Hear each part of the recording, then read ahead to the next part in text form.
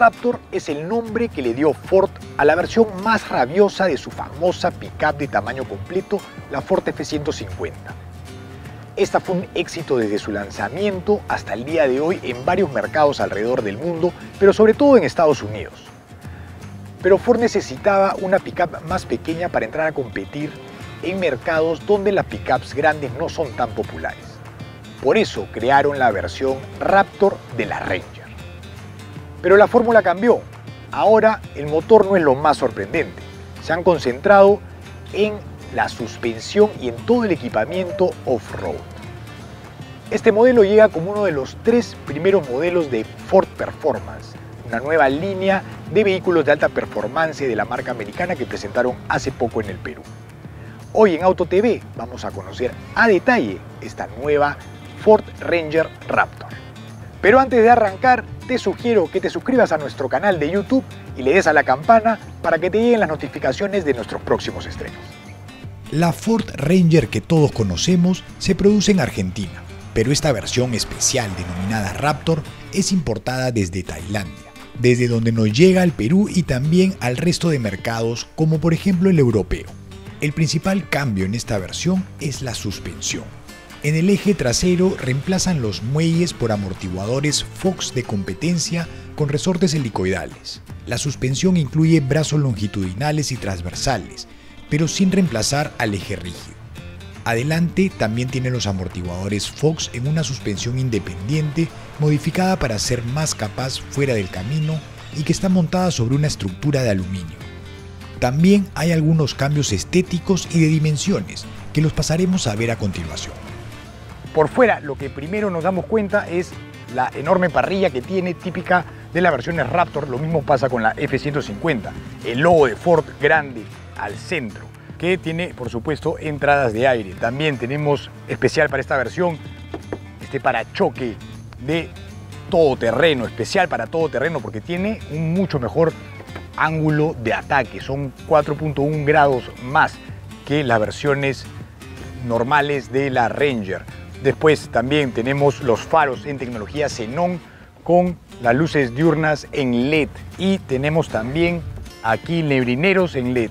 Después más abajo tenemos protección en aluminio para proteger todas las partes de abajo y también ganchos para remolque, dos ganchos, uno a cada lado. Está totalmente preparada para irte fuera del camino. Tiene 18 centímetros más de ancho que la Ranger convencional, son 2 metros 3. Aquí por el lado de lateral también tenemos un disipador de calor, son huecos, no tenemos entradas, pero sí hay un hueco para que disipe calor del motor. Los neumáticos también enormes, todo terreno, también hacen que se vea más alta la camioneta. Y también crece en altura, son 1,87 metro 87 de alto. También tenemos estos estribos off-road de fierro que tienen el logo de Raptor que se repite por todo el modelo. Por supuesto que esto es keyless, tenemos la llave en el bolsillo y podemos abrir y cerrar simplemente apretando este, este hueco que hay aquí en la manija como pueden ver o agarrándola para que se abran, pero sí, eso sí, no se abaten los espejos que tienen luz grande aquí. En la maletera, ganchos también para remolque, dos, uno a cada lado, también un parachoque especial para off-road con sensores. Esto es bueno porque viene preparada la camioneta para off-road y no tienes que ponerle un parachoque especial porque te quita los sensores. Este es un parachoque especial con sensores. Eso es lo bueno de tener todo original. Tenemos dos luces aquí también. La maletera se bloquea con la llave. Hay que abrir la maletera con la llave para recién poder abrirla. Comodísimo. Esto acá eh, es lo que dejamos de lado, ¿no? la capacidad de carga, porque está totalmente centrado al off-road. Entonces vamos a poder cargar máximo 758 kilogramos, que es mucho menos de lo que carga la versión convencional, son 740 kilos menos. Igual pasa con la capacidad de remolque, solo puede remolcar 2.500 kilos, que también son como 850 kilos menos que la versión convencional. También tenemos una luz arriba que la podemos activar desde adentro de la cabina para poder iluminar toda la parte de la tolva y también una entrada de 12 voltios y ganchos. Así que es bastante cómoda esta tolva para llevar cosas, pero eso sí, no para cargar tanto. Bueno, ya sentado aquí en la segunda fila, la verdad es que es bastante cómoda, sobre todo sabiendo que es una pickup. También los asientos son de muy buena calidad, tienen cuero con costuras en azul. En la parte central tenemos una entrada de 12 voltios y otra que es un tomacorriente real de 230 voltios o 150 watts. Aquí está el apoyabrazo central con dos posavasos también, forrado en cuero con las costuras azules. Bueno, y antes de irnos al frente, quería contarles sobre este auto que es totalmente nuevo. Y un auto nuevo hay que protegerlo. Por eso yo confío en Rimac. Con pago por kilómetro puedes adquirir paquetes desde 3.000 kilómetros al año y así pagar 50% menos que un seguro vehicular de RIMAC sin límite de kilometraje. Y disfrutando de la misma cobertura y asistencia. Increíble. ¿Quieres saber más? Ingresa a rimac.com o conversa también con tu corredor de seguros. Y recuerda siempre, con RIMAC todo va a estar bien. Ahora sí vamos. Los asientos son abutacados y de diseño especial para la versión con el nombre Raptor bordado atrás. Son de cuero sintético de dos colores y con costuras azules y al centro llevan alcántara. Estos son bastante envolventes y ayudan para no moverse del asiento, sobre todo cuando pasamos por terrenos irregulares. Ambos asientos son regulables eléctricamente en 8 posiciones y cuentan con calefacción. Las puertas, al igual que las otras Ranger, son plásticos duros, pero con acabados en ecocuero. El timón es parecido al que ya vimos, pero cambian algunas cosas para esta versión, como la inclusión del logo de Raptor abajo y la línea roja al centro, un detalle que usan algunos autos de carrera. Está forrado en ecocuero y continúa con las costuras azules. Es un volante multifunción bastante completo y por detrás lleva dos espectaculares levas para los cambios secuenciales. Estas son de magnesio de muy alta calidad y se sienten muy bien al tacto. Lo único que le falta a este timón es la regulación telescópica. Algo que sí cambia por completo es el panel de instrumentos. Este lleva, a diferencia de la clásica, dos relojes muy claros con agujas anaranjadas fosforescentes. Todo el instrumental está hecho con muy buenos materiales y se ve bastante deportivo. Al centro de los dos relojes tenemos la computadora a bordo de 4,2 pulgadas y de una excelente resolución. Aparece el nombre Raptor y el eslogan con una animación que parece video. Aquí tenemos información de viajes, de consumos, puedes regular las asistencias a la conducción y también encontramos un interesante gráfico que nos indica si la tracción 4x4 ha sido engranada y también la inclinación lateral y longitudinal. El tablero se siente de buen armado y los plásticos aquí son más suaves. Al centro lleva la pantalla de 8 pulgadas que es compatible con Apple CarPlay y Android Auto. También equipa Sync 3, el sistema de infoentretenimiento más actual de Ford. Puedes controlar, por ejemplo, hasta el climatizador dual por voz. Este también se puede controlar por medio de la pantalla táctil o con botones reales más abajo. La palanca de cambios lleva cuero en el pomo y en el forro, este con costuras azules nuevamente. Más arriba encontramos botones importantes para el manejo off-road. Desde aquí podemos desactivar el control de tracción. Este tiene dos niveles, hay que quedarse apretando algunos segundos para desconectarlo por completo. También está el botón para bloquear el diferencial trasero y el de asistente de descenso que también equipa. Más abajo, la perilla que engrana la doble tracción. Esta tiene tres posiciones, 2H, 4H y 4 low al centro dos posavasos, freno de mano convencional forrado en cuero y un apoyabrazos con dos compartimentos. Ahora sí, llegó el momento de probarla en ruta. Primero la llevamos a la ciudad para ver qué tal se comportaba entre las angostas calles. Si bien puede parecer algo complicado maniobrar tremendo vehículo de más de 5 metros de largo, la verdad es que se lleva bien con la dirección eléctricamente asistida y sobre todo con la suspensión especial que equipa. Si bien está regulada para recibir golpes fuera del camino, para calles accidentadas como las nuestras, está más que bien. Los rompemuelles los pasa como si no existieran, y todo eso en conjunto te da un andar mucho más relajado que cualquier pickup con muelles. Los pasajeros de atrás también agradecerán esta suspensión que los lleva como si estuvieran en la parte trasera de una SUV. Otro punto a favor es el motor, que es de última generación. Son los últimos motores diésel que ha producido Ford. la gama EcoBlue recién lanzada en el 2018. Estos vendrían a reemplazar a los Duratorque, que son los que utilizan las versiones comunes de la Ranger. Este tiene inyección electrónica directa de combustible tipo Common Rail y dos turbos con geometría variable e intercooler. Este tiene varias mejoras para reducir la fricción aumentando eficiencia y también para reducir vibraciones que aportan a un manejo más relajado en ciudad. También cuenta con el sistema Start-Stop, que tiene los mismos beneficios, mayor eficiencia y cero vibraciones en los rojos. Bueno, ahora ya estamos rumbo al sur, a Chilca, para probar esta Ranger Raptor en las dunas. Pero por mientras vamos a disfrutar de la camioneta y les voy a contar qué tal anda en carretera también. Los neumáticos de estilo off-road no son de los más cómodos en carretera. El sonido del rodamiento será siempre mayor a la de neumáticos para pista o mixto. También la pickup pierde un poco de eficiencia en el frenado, pero para contrarrestar estos puntos en contra, que son inevitables si tienes una pickup con el debido equipamiento off-road, Ford trabajó en varios puntos. El mayor ancho de trocha aporta para la estabilidad que se pierde con las llantas y equipa discos grandes de frenos ventilados adelante y atrás, raro en una pickup.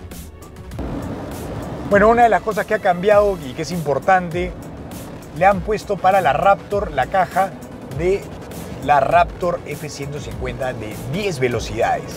Realmente extraordinaria, no solo para el off-road, sino también para, por ejemplo, ahora en carretera, nos vamos tranquilos, en el décimo cambio, el motor va muy suelto y me permite ahorrar mucho combustible, ser muy eficiente al andar.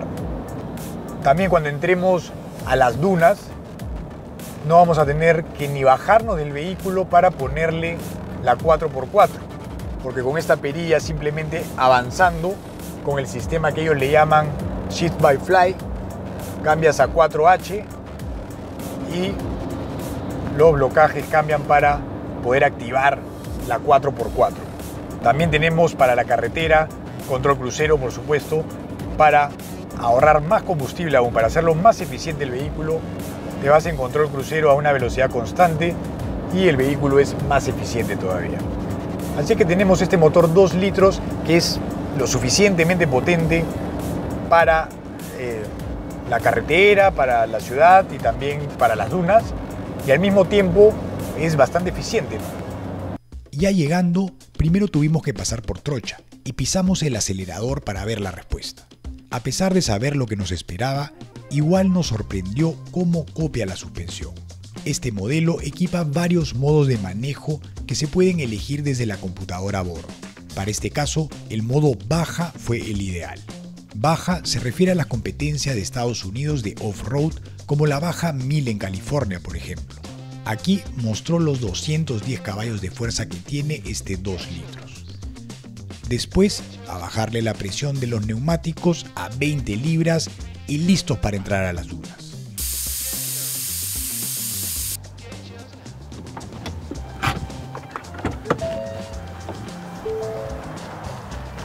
Bueno, ahora sí llegó el momento esperado, el momento de la prueba fuera de terreno, que es el hábitat natural de esta versión de la Ranger, la Ranger Raptor. ¿Por qué? Porque tiene muchas cosas off-road, como por ejemplo los neumáticos, son all terrain, son neumáticos todoterreno por la huella, también la medida son 285 70 17, aro 17 pulgadas. Miren el perfil que tiene aquí, esto nos permite poder bajar más los neumáticos y tener más superficie de contacto arriba, más de lo que ya tiene, que son 28.5 centímetros. Con estas BF Goodrich All Terrain no vas a tener ningún problema. Los aros también, de ancho, tienen 33 pulgadas y son de diseño off-road para que justo cuando tengan el neumático bajo, como lo hemos bajado ahora nosotros, puedas eh, no desenllantar tan fácil, porque es fácil desenllantar cuando tienes el neumático bajo. Si doblas muy fuerte, desenllantas arriba en la duna. Si hay dos llantas desenllantadas, ¿qué haces? Bueno, estos aros son especiales para off-road. También tienen mejores frenos, tenemos un mejor ángulo de ataque. Podemos ver este ángulo de ataque es 4.5 grados más que una Ranger normal, son 32.5 grados de ángulo de ataque. 24 el ángulo ventral y 24 también el ángulo de salida. Este parachoque especial para off-road, creado y diseñado por Ford. Tenemos la suspensión que está hecha de aluminio, también una base de aluminio y tiene los amortiguadores Fox de 2,5 pulgadas que tienen 30% más de recorrido. La verdad es que se ve increíble y ahora vamos a probarla a fondo para ver cómo funcionan todo este equipamiento off-road que equipa la Raptor de Ranger. Vamos. Fuimos en busca de zonas un poco complicadas para poder probar bien esta suspensión y si es que el motor, que en números es pequeño, era suficiente para divertirnos en las dunas.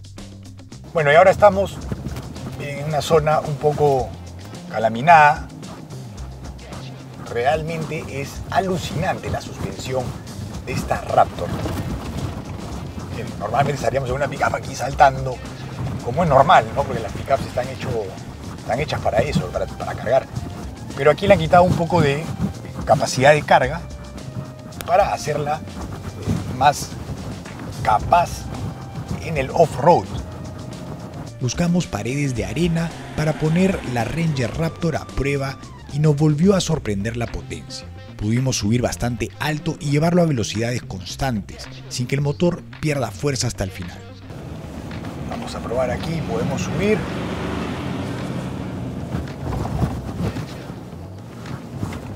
Oh. Eso es. Ahí estaba esperando el golpe con todo y todo lo, lo absorbe.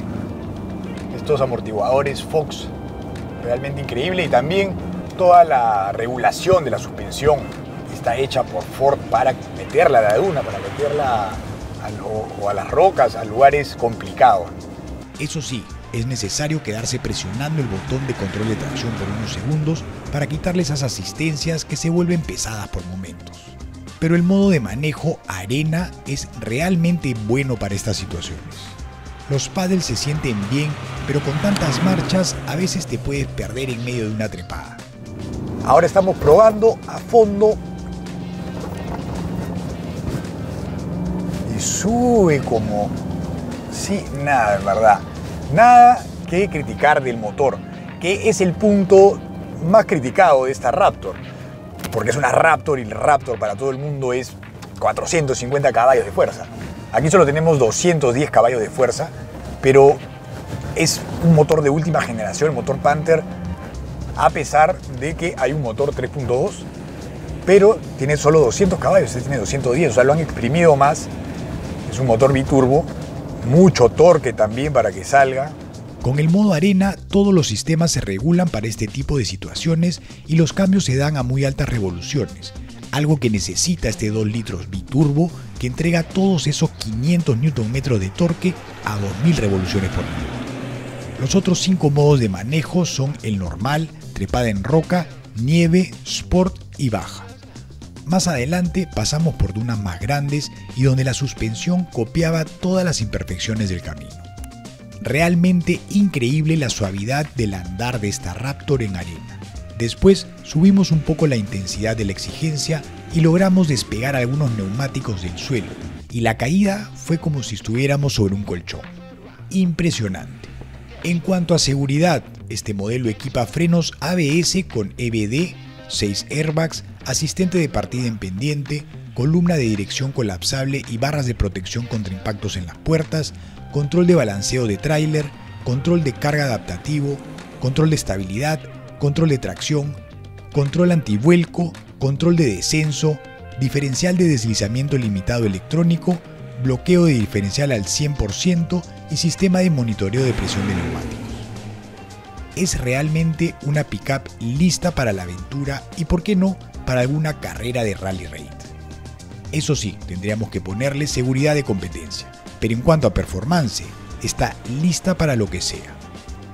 El costo de esta nueva Ranger Raptor es de 54.990 dólares. 10.000 dólares más que la versión más equipada de la Ranger suena mucho, pero hay que tener en cuenta todo lo que hay por debajo del chasis. Si prefieres comprar una estándar y equiparla para que quede así, tal vez estaremos hablando de precios similares. La ventaja de la Raptor es que ya viene de fábrica y con toda la garantía, sistemas y tecnología de la marca. Bueno amigos, ese fue el video a la nueva Ford Ranger Raptor. Espero que hayan disfrutado de esta prueba y si te gustó no te olvides de suscribirte a nuestro canal dándole clic a este botón y si quiere ver más videos, sigue los siguientes enlaces. Nos vemos.